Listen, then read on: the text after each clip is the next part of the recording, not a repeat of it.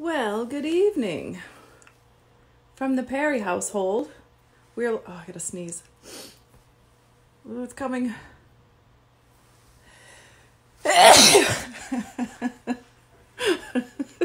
what do you say? Excuse you. God bless you. Bless you. Oh, excuse me and my sneezing. Okay. We're coming live today from Casa Perry. and uh, I thought that you guys might enjoy. Oops. It's telling me to rotate my phone. You can't turn while recording. Okay, sorry, sorry, sorry. Moving a lot. So, uh, Bailey and I were talking. I have a lot of people who are moms and parents on here who uh, run their company, single moms, single dads, uh, you know, running their company and learning how to juggle the parent life while they're running their business. And if we're being really honest, it can be the biggest pain source because if you for one second believe that running your company or scaling your company will hurt your children, you won't do it. That's it, period, end of story. So, tonight we have Bailey Perry on here for her to tell you her genuine experience of what it's like while I build my company as a single mom. Uh, and we were just talking about, you know, teamwork and what it looks like, and how Bailey's aware that my company, you know, brings healing to the world and helps a lot of people, and um, and how she has needs and desires, and if she feels comfortable and safe expressing and asking for what she needs and what she desires, knowing that there's also, you know, mom has her purpose and mom has her boundaries and desires too. So um, what's it like for you, Bailey? Um, it's like, um, I'll say an example. So, maybe like, um, say you have a pet cat and she wants to play, hang out with you sometimes, but at the same time, sometimes she doesn't. And you have a pet dog that every single second wants to hang out with you. That is so valid. That's how cats and dogs really are. Because I have a cat and a dog. Yep. Um, my dog's name is Nacho, um, and my cat's name is Midnight, and she wants to hang out with me sometimes, and sometimes Nacho wants, and all the time Nacho wants to hang out with me. You have to separate the time with both of them and make sure that they each get an equal amount of time. That's what it's like for me. You're so smart. so, this was just like I'm gonna just like hand off a couple of the things that I've learned that I've made because it's not easy. Like I'm not gonna sit here and pretend that being a single mother with two kids in a state where I don't have any family here uh, is easy on any level while I run a global company and scaling that the level I'm scaling at. Just having joined the platinum and um, you know rearranging the back of my company and hiring new people. It's not easy, but uh, there's ways to make it easier. And one of the greatest things that I ever learned, and what Bailey and I were talking about today, was like, I don't super feel I don't feel available for not scaling my company the way I want to and living my purpose. And I also don't feel available for Bailey feeling like or any of my children feeling like they don't get to have the experience of life with me that they long to have. So sometimes my kids will feel or Bailey will feel like um like I'm too busy for her and she'll express that. Like it just feels like I want time with you, feels like you're too busy, you know, you're traveling a lot, et cetera, et cetera. So the standard for Bailey and I is there's always a solution to every problem. Every time, there's always a solution. So Bailey and I will talk about if we know there's a solution where mommy gets to live the life she wants and Bailey gets to have the experience of life that she wants, then what's the solution? And we get creative. So today we were just talking about um, what would it look like if it's a win-win for Bailey and I? What does she like to do that I like to do? And the thing that I learned that made being a mompreneur a lot easier was recognizing what makes Bailey feel loved, right? What makes my son Calvin feel loved? Like what to them feels really important and special and they feel loved. So I don't have to sit there and feel guilty that I'm not giving massive amounts of time like it was I'm going to say this bluntly. This is going to sound blunt.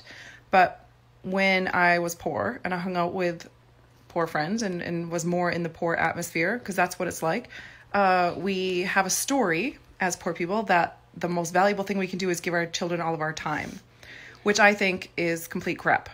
I don't think that's good. I don't think that's real. I think that carries on um, a system of feeling of, of indebtedness and teaching your children that you're supposed to overgive and that you're not allowed to do the things that light you up. So, what I teach my daughter is that I get to do the things that light me up. I get to leave an impact on this planet, and her and I get to have massive, awesome connection time.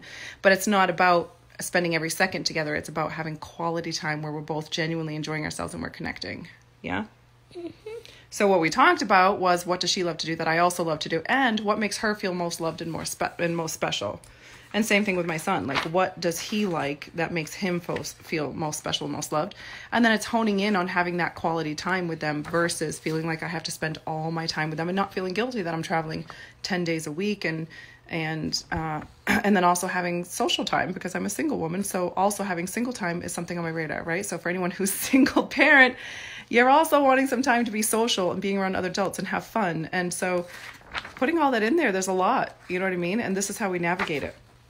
Did you want to say something? Um, I wanted you to say the things that we worked out to do together. Okay, so what we worked out that we could do together was shopping. Although that was a Mandy doesn't like that, Bailey likes that one, but Mandy needs to do that one.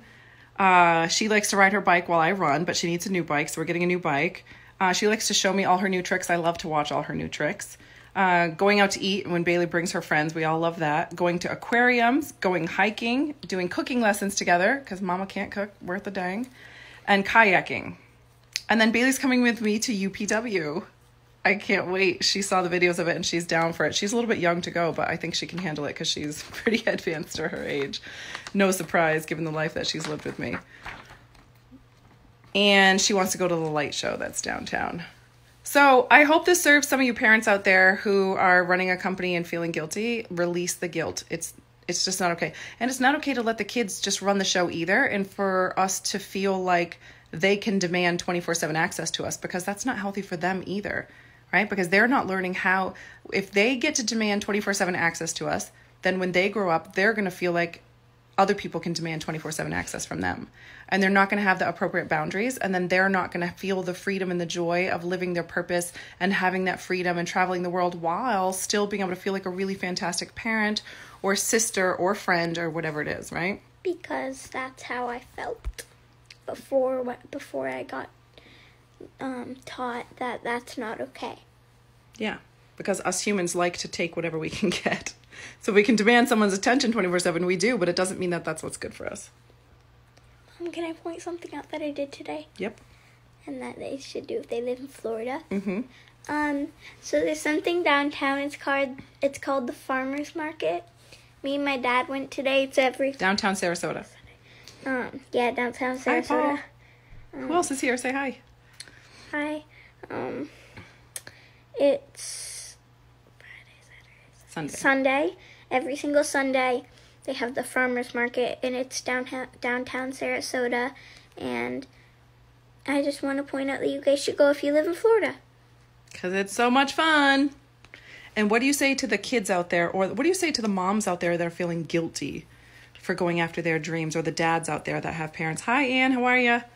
The, the parents out there that are working hard and their kids are maybe getting upset because Don't feel guilty and tell their and tell your kids that that's not right and that they shouldn't be demanding your attention every second.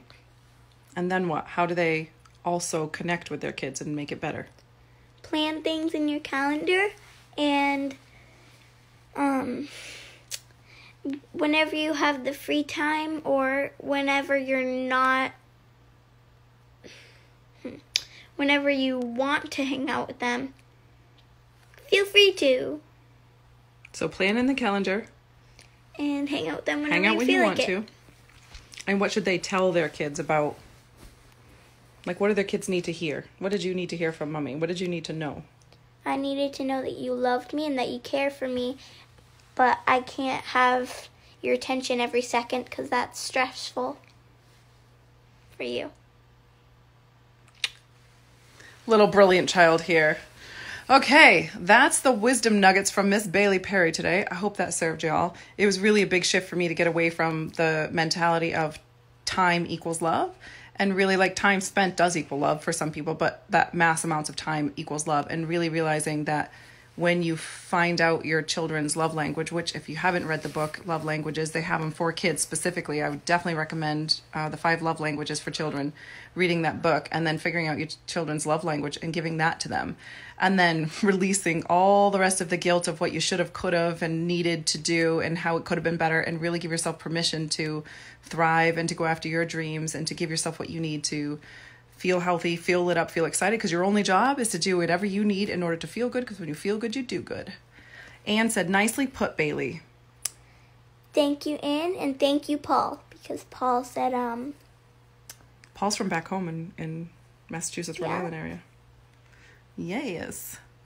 Okay, guys, we love you very much. Hope this served you. What do you want to say? spend time with your children and Go after your dreams. and work hard. Work hard, play hard. Wait, Mom, can I go grab the rock to show them the rock? Sure.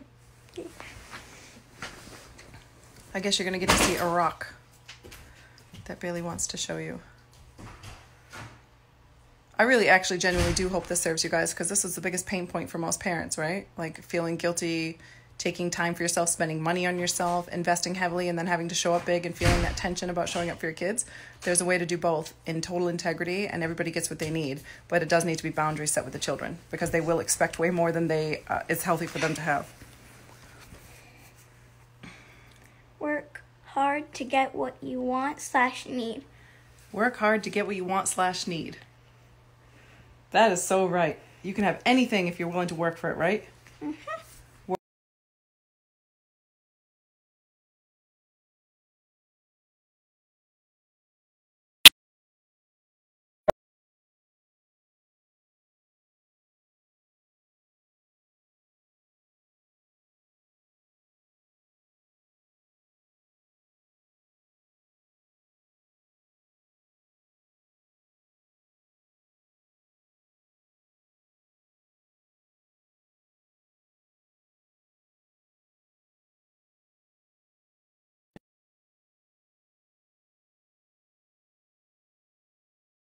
Good night. Thank you, Tina.